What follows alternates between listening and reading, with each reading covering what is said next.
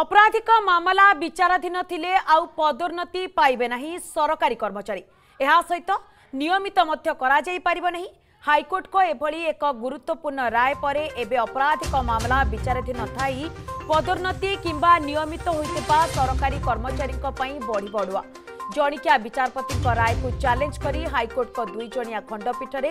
writ petition ଦାୟର କରିଥିଲେ ରାଜ୍ୟ ସରକାର ଯାହାର ଶୁଣାଣି କରି ମୁଖ୍ୟ ବିଚାରପତି ଡକ୍ଟର ଜଷ୍ଟିସ୍ ଏସ୍ ମୁରଲୀଧର ଏବଂ ଜଷ୍ଟିସ୍ ଗୌରୀଶଙ୍କର ଶତପଥୀଙ୍କୁ ନେଇ ଗଠିତ ଖଣ୍ଡପୀଠ ଏହି ରାୟ ଶୁଣାଇଛନ୍ତି ଏହା ସହିତ ଜଣିକିଆ ଖଣ୍ଡପୀଠ ଦେଇଥିବା ରାୟକୁ ରଦ୍ଦ କରିଛନ୍ତି ହାଇକୋର୍ଟ କେନ୍ଦ୍ର ସରକାର ବନାମ କେଭି ଜାନକୀଙ୍କ ମାମଲାରେ ଥିବା ସୁପ୍ରିମକୋର୍ଟଙ୍କ ରାୟକୁ ତର୍ଜମା କରି ହାଇକୋର୍ଟ ଏହି ରାୟ ଶୁଣାଇଛନ୍ତି ଏ ସମ୍ପର୍କରେ ଅଧିକ ଅପଡେଟ୍ ଦେବା ପାଇଁ ଆମ ସହିତ ଫୋନ୍ ଲାଇନ୍ରେ ଯୋଡ଼ି ହୋଇଛନ୍ତି ଆମ ପ୍ରତିନିଧି ଇମ୍ରାନ୍ ଖାନ୍ ଆମ ସହିତ ଯୋଡ଼ି ହୋଇଛନ୍ତି ଇମ୍ରାନ୍ ବର୍ତ୍ତମାନ ସରକାରୀ କର୍ମଚାରୀଙ୍କ ପାଇଁ ନିହାତି ଭାବରେ ଅଡ଼ୁଆ ପଡ଼ିଛି କାରଣ ହାଇକୋର୍ଟ ନିହାତି ଭାବରେ ଏକ ଗୁରୁତ୍ୱପୂର୍ଣ୍ଣ ରାୟ ଶୁଣାଇଛନ୍ତି ତେବେ ରାଜ୍ୟ ସରକାର ଯେଉଁ ରିଟ୍ ପିଟିସନ୍ ଦାୟର କରିଥିଲେ ପ୍ରକୃତରେ ସେଥିରେ କ'ଣ ପ୍ରାର୍ଥନା କରାଯାଇଥିଲା କ'ଣ ଲେଖାଯାଇଥିଲା କ'ଣ ଆବେଦନ କରାଯାଇଥିଲା देखु मन आसनी भाव में देखुए विभिन्न समय में भिजिलेंस द्वारा अनेक सरकारी कर्मचारी मैंने जांच आरंभ विभिन्न आपराधिक मामला छंडी होरोधर में आपराधिक मामला चलता है मामला गुड़ी रही है और से ही समय से पदोन्नति किंवा से जो जो स्थायी जो किप भाव से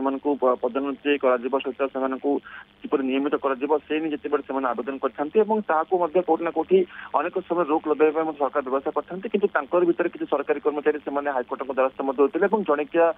ଖଣ୍ଡପୀଠରେ ସେମାନେ ଯେହେତୁ ତାଙ୍କର ଆବେଦନ କରିଥିଲେ ଏବଂ ଆବେଦନରେ ସେମାନଙ୍କୁ ଯାହା କୋର୍ଟ ରାୟ ଶୁଣାଇଥିଲେ ଯେ ଜଣେ ସରକାରୀ କର୍ମଚାରୀ ଯେତେବେଳେ ଭିଜିଲାନ୍ସ କୌଣସି ମାମଲାରେ ବିଚାରାଧୀନ ତାଙ୍କ ମାମଲା ରହିଥିଲା କିନ୍ତୁ ତାଙ୍କୁ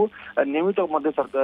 ତାଙ୍କର ଯୋଉ କାର୍ଯ୍ୟରେ ତାଙ୍କୁ ନିୟମିତ କରାଯିବ ବା ତାଙ୍କୁ ପଦୋନ୍ନତି ମଧ୍ୟ ଦିଆଯିବ ଯାହାକୁ ଚ୍ୟାଲେଞ୍ଜ କରିଥିଲେ ହାଇକୋର୍ଟ ରାଜ୍ୟ ସରକାର ଏବଂ ହାଇକୋର୍ଟ ସେ ଦୁଇ ଜଣିଆ ଖଣ୍ଡପୀଠରେ ତାଙ୍କର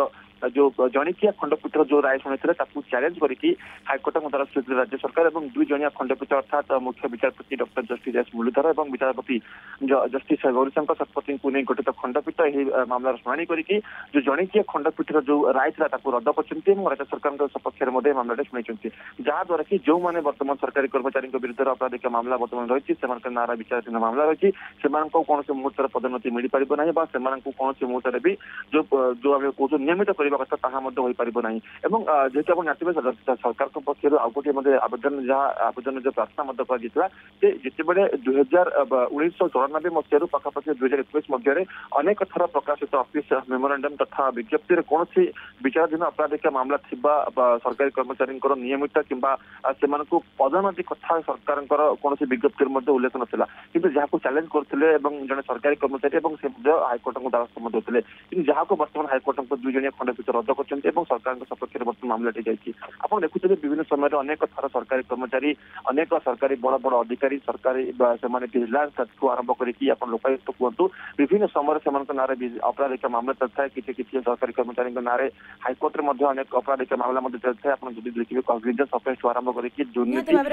ସରକାରୀ କର୍ମଚାରୀ ଏମିତି ଅଛନ୍ତି ଯେଉଁମାନଙ୍କ ନାଁରେ କି ଅପରାଧିକ ମାମଲା ଚାଲିଥାଏ କିନ୍ତୁ ସେମାନେ ପଦୋନ୍ନତି ପାଉଥିଲେ କିନ୍ତୁ ବର୍ତ୍ତମାନ ହାଇକୋର୍ଟ ଯେଉଁ ଗୁରୁତ୍ୱପୂର୍ଣ୍ଣ ରାୟ ଶୁଣାଇଛନ୍ତି ଏହା ନିଶ୍ଚିତ ଭାବରେ ସରକାରୀ କର୍ମଚାରୀ ଯେଉଁମାନେ କି ଅପରାଧିକ